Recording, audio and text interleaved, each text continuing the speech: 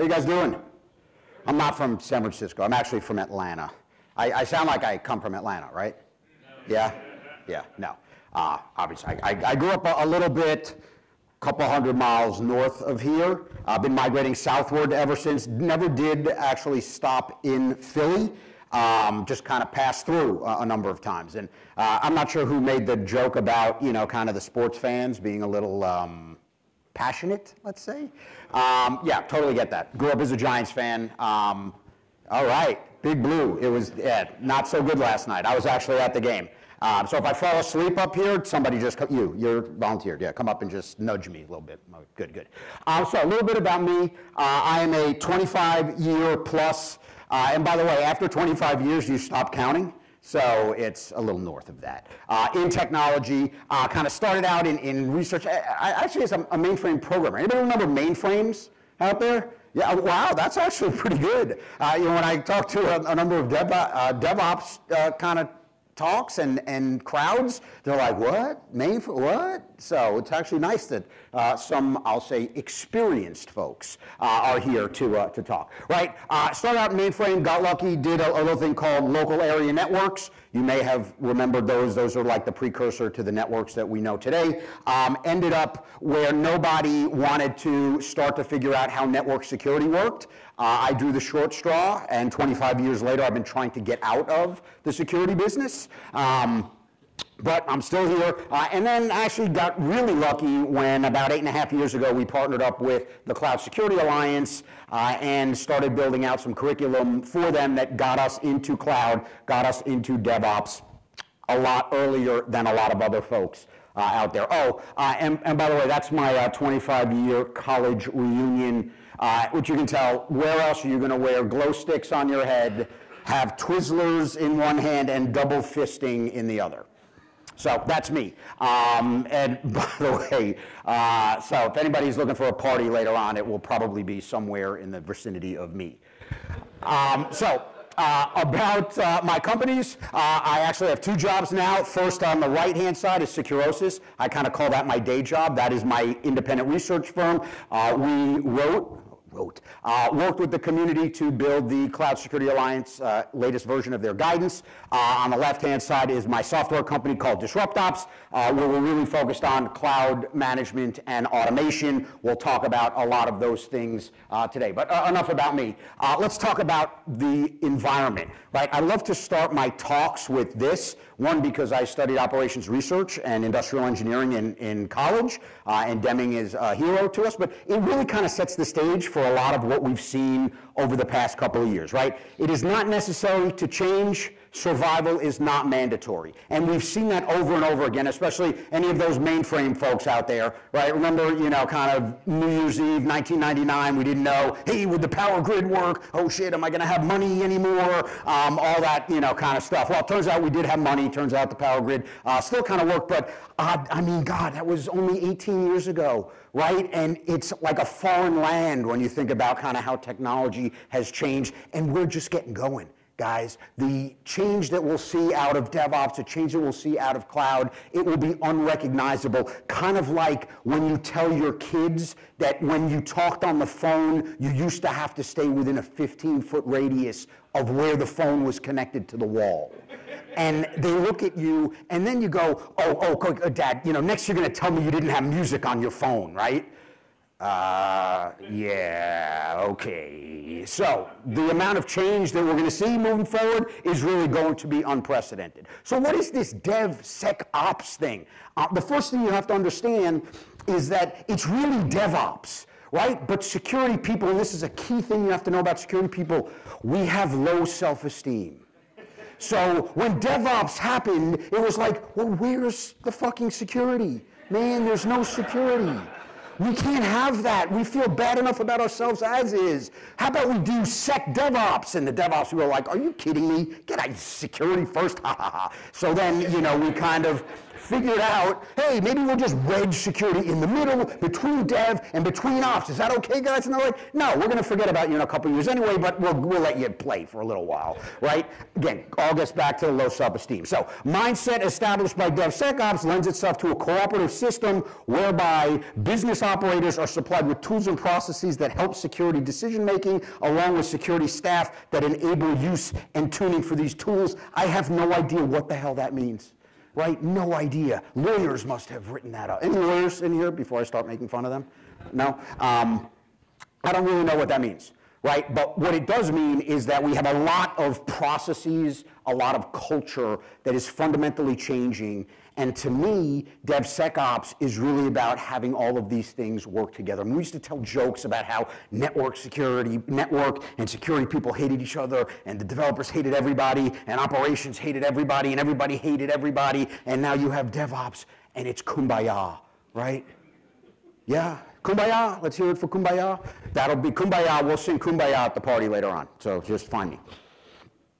Um, so when we think about where Dev ops is going, where DevSecOps is going, I guess I would ask a question. In 10 years, is security even a thing, right? Because if we really kind of play this out to its logical conclusion, security becomes part of everything, right? Fundamentally part of the development process, fundamentally part of the operational process. Low self-esteem problems aside, security really shouldn't be a separate thing. But you have to understand, anybody that would identify themselves as a security person out there? a hand, handful, couple. Um, so for those of you that don't know or don't know and haven't worked with security people, this is pretty much what you see. Right? They come in and remember, I mean, our job is to figure out how we're going to get killed every day. So we walk around with tinfoil hats, right? Just because we're paranoid doesn't mean they're not out to get us right? That's kind of the whole security ethos. When you come home at night, you talk to your secure, your significant other, and you know they say, "Oh, hey, honey, how was your day today?" And you go, "My day was awesome," and they and and, and they say, "Well, great. What happened?" And you go, "Nothing. Absolutely nothing happened today. It was the best day." Right? Because if something happens in security, it's probably not good. So you have to think about it that way. But let's talk about this quick and dirty thing because it was a little disingenuous to kind of say, hey, I'm going to teach you guys DevSecOps in 30 minutes, right? That's kind of like saying, I'm going to teach you DevOps in 30 minutes, right? No. It's a cultural thing, it's an evolutionary thing, it's a procedural thing. So what we're going to do is kind of talk about the three aspects, and I'm going to have to go through this stuff quickly. I will apologize. You will get links to the slides. There are actually a couple of versions of the deck here. The short deck that I'm using here, a much longer deck I've done before, about 90 minutes with a lot more examples in there. There are labs that you can follow along with. We have code samples up. I'll give you again that link at the end of the talk because there's just way too much to cover in 30 minutes. So what we'll do do is do we take a very high-level quick tour of secure architectures, how we build security into the pipeline, right? That's where all the magic happens, and then actually operating things in a secure fashion with three different levels of automation. So when we say architecture, what do we mean, right? Well, first thing, and, and this is something that is so foreign to uh, most security people, right? It's the idea of fitting the infrastructure to the application right? What does the application need? Now, anybody ever work with, you know, kind of databases? Yes, I'm asking them just to make sure you guys are still up. I know it's been a long morning, lots of talks, you know, not enough coffee. I totally get that, right? But you know, it was funny because when you were sitting there as an architect going, "Hey, you know, I'm trying to think about what database is," you talk to the people, and the people would go, "Yeah, you can use whatever database you want, as long as it's Oracle." Wait, what? Well, we have a site license to Oracle, so you can absolutely use whatever database you want, but it's going to be Oracle, right? So what that meant was we were retrofitting kind of the applications and the stacks that we built to the tools that we had. Right? In cloud land, in DevOps land, we can actually build the stack for what the application needs. That's totally heresy in a lot of areas, right? But that's the way things work now. That means we can leverage architecture as a security control. Right? We can use it. We'll talk about blast radius, we'll talk about segregation in about 10 seconds. But the point is, we can use different constructs, architectural techniques to make it a lot harder to compromise your data. We've never been able to do that before. It's incredible, right? And then we can automate the deployment and management of our security with a lot of the techniques that you use in DevOps. Folks who've grown up doing DevOps are like, duh, right? Security folks, not so much. We're, we are generally mistrustful of everything. Automation, forget it right? Because we've lived through the environment where you kind of said, hey, maybe we'll change the network, we'll let the machine change the network. You go boom, and half your network goes down. Well, that's the last time you do that right? Now, with cloud and with DevOps, you don't have a choice. Automation, APIs, all of these things are fundamental aspects of our stacks. We don't have a choice, right? So we start with architecture. A couple things I'll mention here. One is blast radius. For an attacker, their magic uh, approach is compromise something, anything in your environment.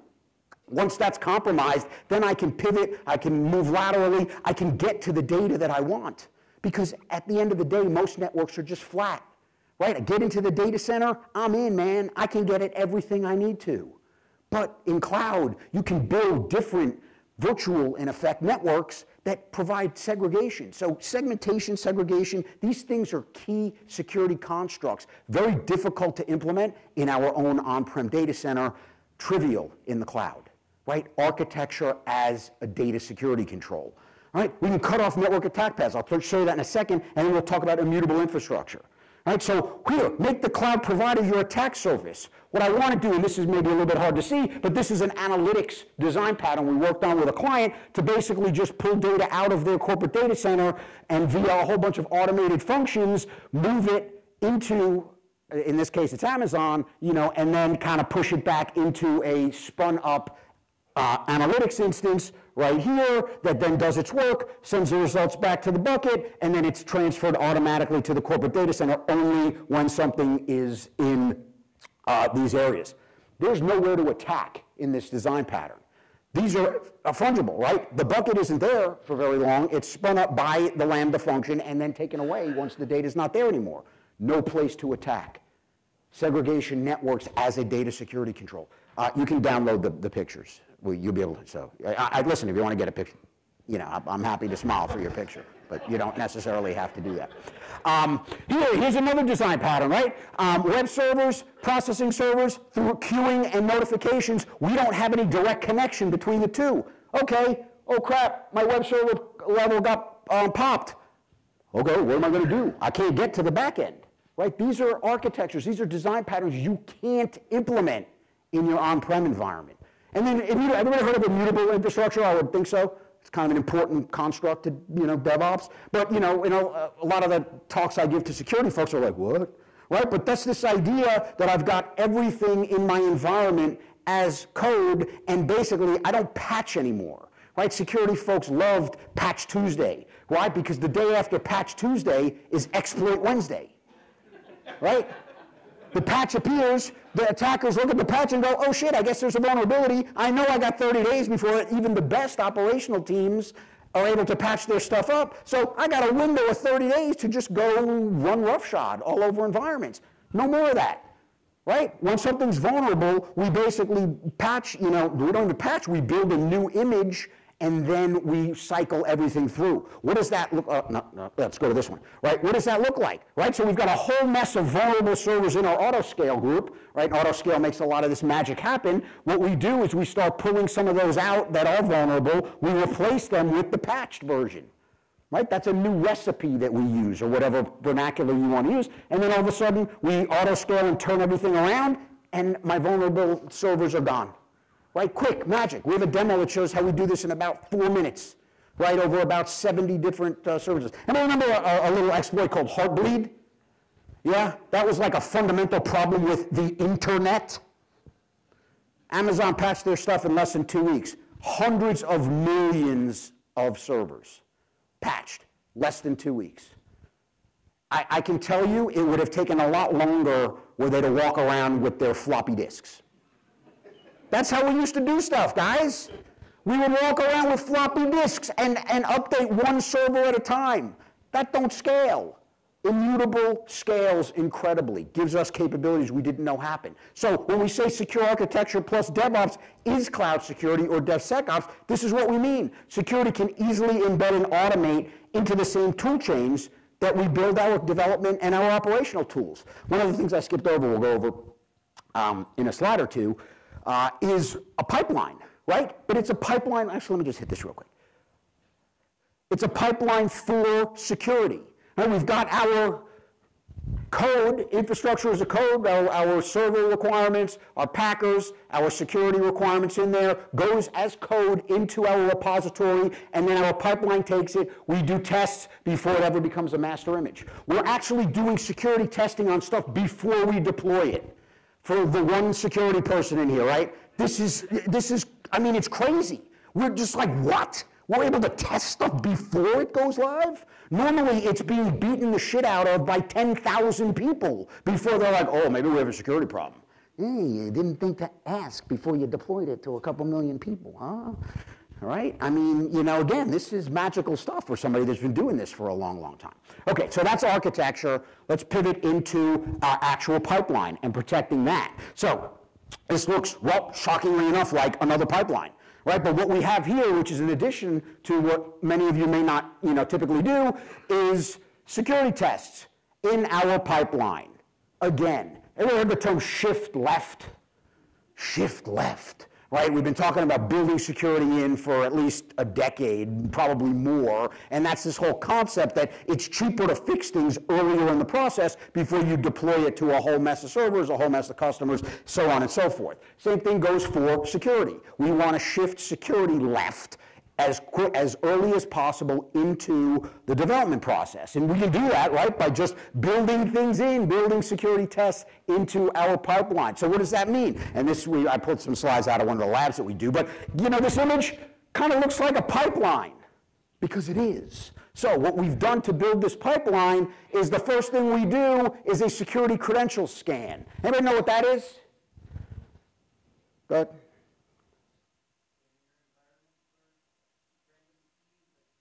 Yes, scanning your environment for random keys that shouldn't be there.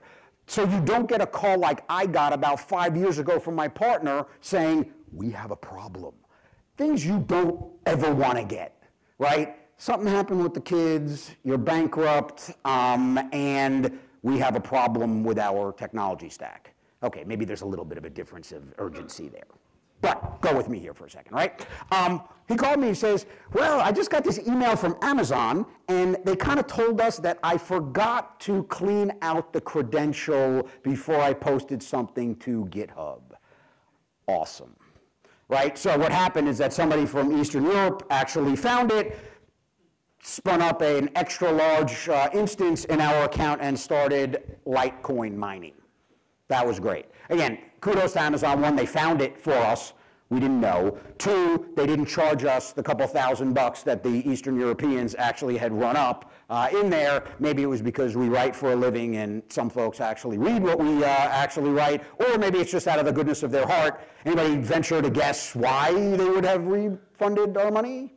I don't know. I'll go with the goodness of their heart um, for 200, Alex. Uh, so what we can do is, you know, actually scan all of our code to make sure that we didn't make a sophomore error like leaving our credentials in there. Then we build it.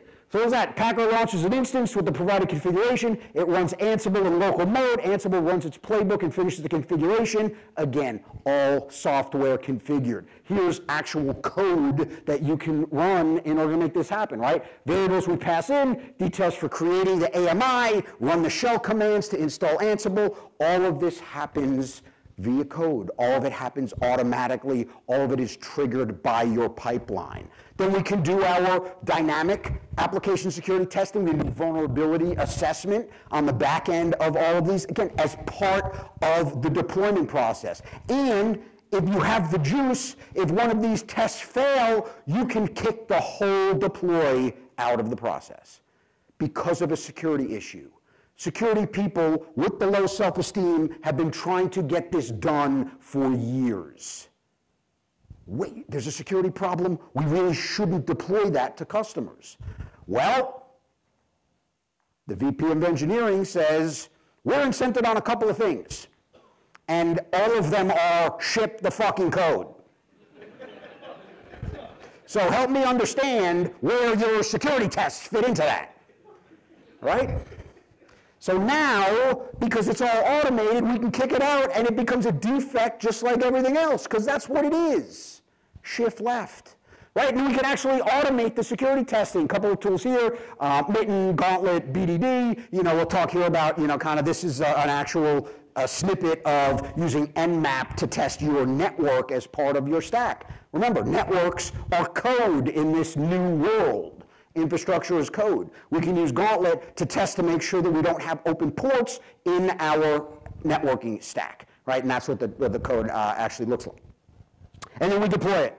Right, so it pulls the AMI from the console log, runs the rolling update script. Due to the magic of auto scaling, we're able to continue to roll this out and magic happens. You deploy secure environments either as code instances or containers, right? We can just, it's, again, it's code. We can deploy it any way we need to. So that's building code into the pipeline. How about operations, right? Talked about architecture, we talked about security into the pipeline. Now let's talk a little bit about operations. And secure operations is all about automation. And what we have are three different levels of automation within kind of the whole operation structure. First, we'll dig and spend a lot more time on is guardrails, right? Anybody heard of that term before? Almost nobody? Yeah, so this is the idea of, you know, you basically going down the mountain at a high rate of speed. Anybody ever drive over the Independence Pass in Colorado? Anybody? It's beautiful. Try to do that if you ever get to. Um, I, I got there inadvertently because Waze Remember these Waze? Man, you end up in some weird places with Waze. I mean, it's like starting to snow. It's October. I got a rear-wheel drive car in Denver, which sounded like a great idea. And next thing I know, I'm on the Independence Pass. It's about 32 degrees and snowing. And I'm here. That's amazing. Because I'll tell you, the Independence Pass has no guardrails. It's like a road carved into a mountain and you drive up to it and you go, wow, that's cool. Who would be stupid enough to drive there? And 10 minutes later, you're like, oh shit, that's me.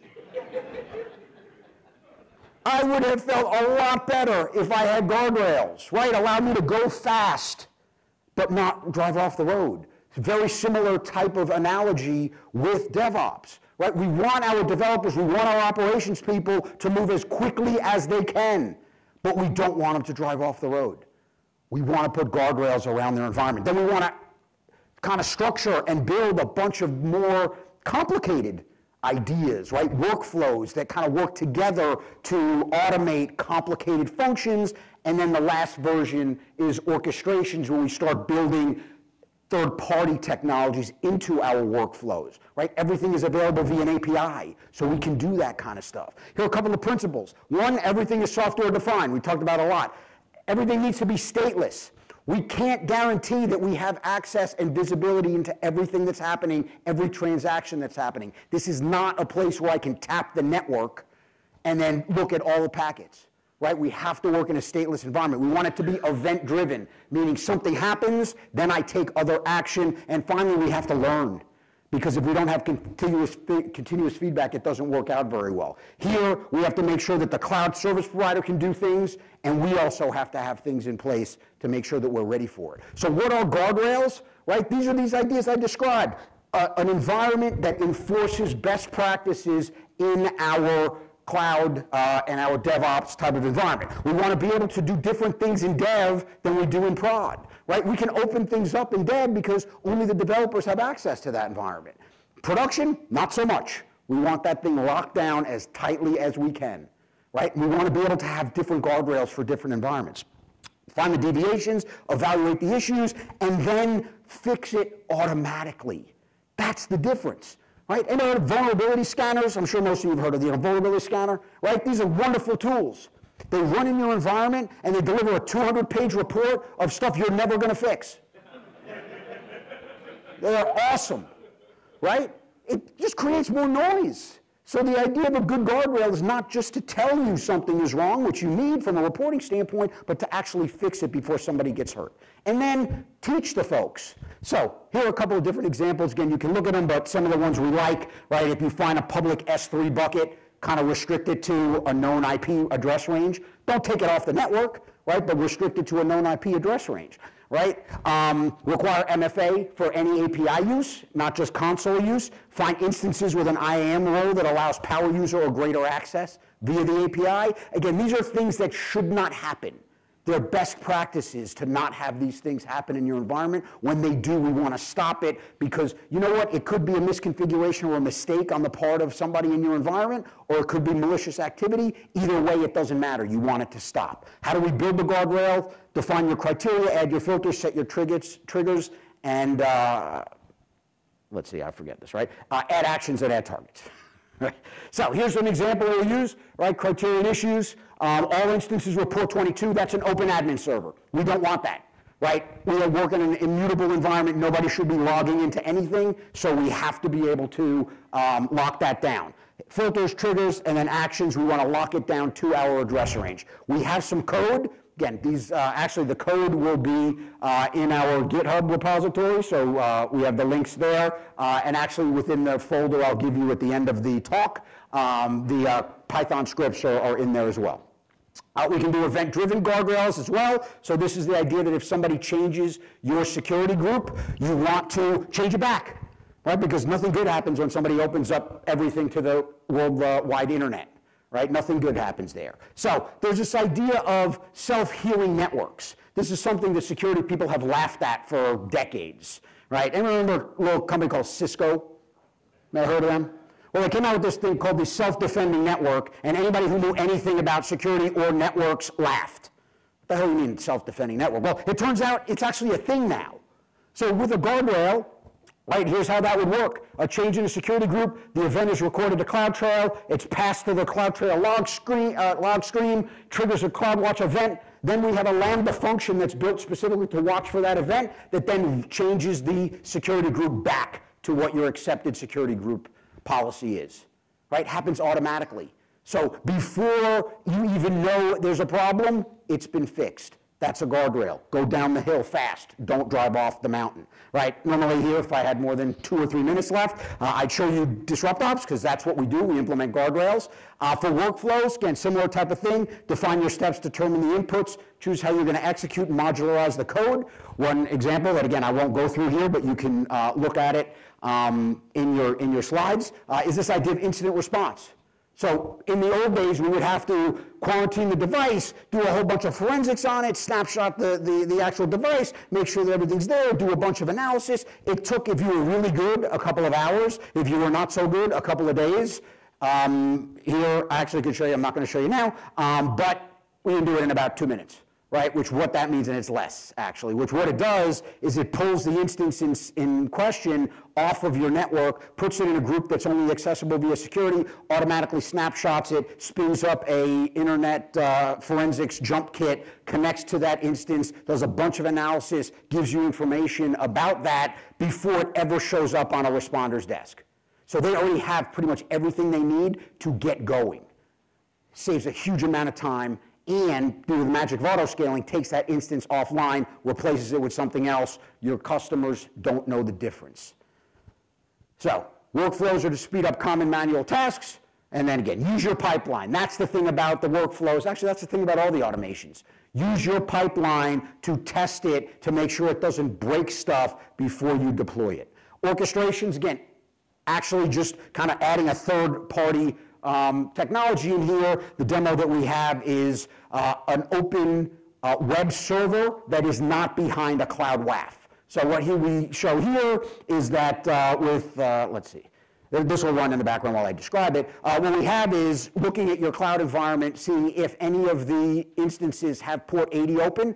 If it has port 80 open, it's probably a web server. If it's a web server, we check with Incapsula, which is a cloud WAF through their API to see if the actual server is provisioned in their environment. If it's not, we change DNS to route it towards uh, Incapsula. We provision it in Incapsula. Voila! Within about less than a minute, any open port 80 server that shows up in your environment is protected behind the WAF.